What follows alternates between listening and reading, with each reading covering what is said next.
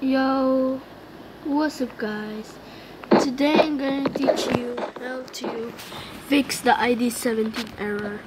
So it's very easy and I'll teach you how. So if you're receiving one of those, make sure you um uh log out from your account, log out um, after you log out you sign up. Um, this is not an ordinary account. Yeah it's just random. Just make a name like can can con two three. Then can con okay so our password will be like one two one, two, three, four, five, six, seven, eight. okay, Roblox didn't allow that, so um, your mommy there, your mommy.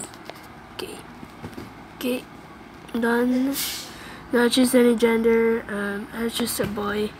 Then you just oopsie there and sign up.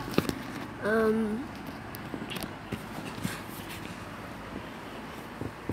so after that um, you go to more then you go to settings then security.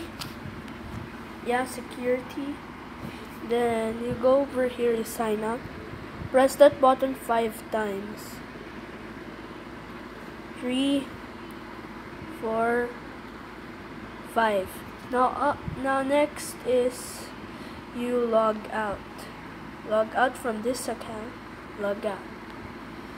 Then log in to your previous account, like my previous account. So I'm going to block the